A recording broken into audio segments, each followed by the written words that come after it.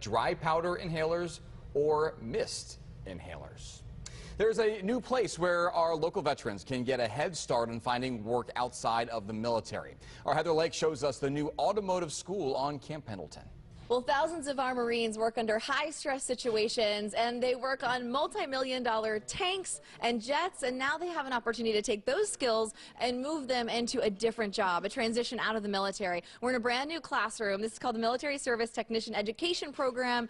And we are showing you how these Marines are learning how to work on BMWs in this new program. I've got one of the graduates with me. So this is pretty cool because Corporal Jackson, you have a job. You're going to be getting out of the military. This is a dream for some people and you're moving your whole family up to Oregon. Talk about getting out of the military and getting this new job.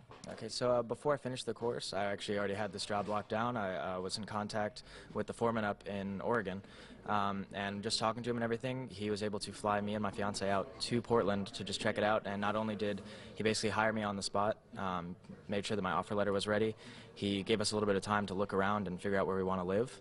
And um, yeah, we, I get out in like about a week, and me, my fiance, and our dog, we're all going to head up there. I love it. So many of you, and I'm sure um, your fellow Marines, are looking for this kind of dream situation where you've been serving our country, and now you're trying to figure out what the transition is into next life. Uh, no more deployments, getting to be at home with your family, and that's what people are getting to do here. So congratulations, good luck. We're going to talk a little bit about this. It's a 16-week course, and you get to learn all about BMW. Sal Sandoval here is one of the instructors. Not easy to work on these cars, um, especially since you're looking under the hood of a 2020 BMW where all the bells and whistles um, are getting uh, crazier than ever when we talk about technology.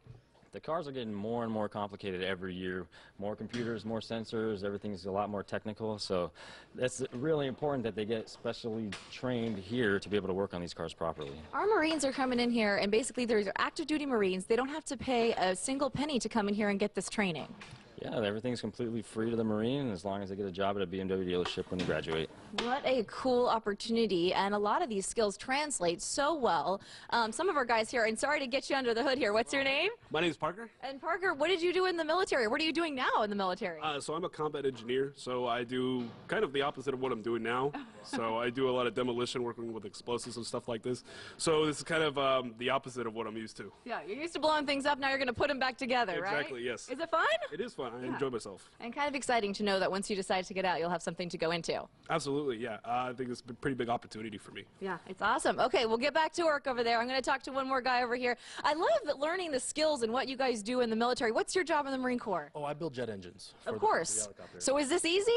Uh, yes, uh, it's a, it's a little bit of a step down, but it's I mean with the cars getting more and more advanced now, it's it's getting there. And I'm sure under all the stress and pressure of having to do something quickly and work on a jet engine, now being here and having the whole day, you guys probably put some music on, hang out. Is this a dream? Oh yeah, absolutely. I feel like I'm you know it's a like dream come true. Absolutely.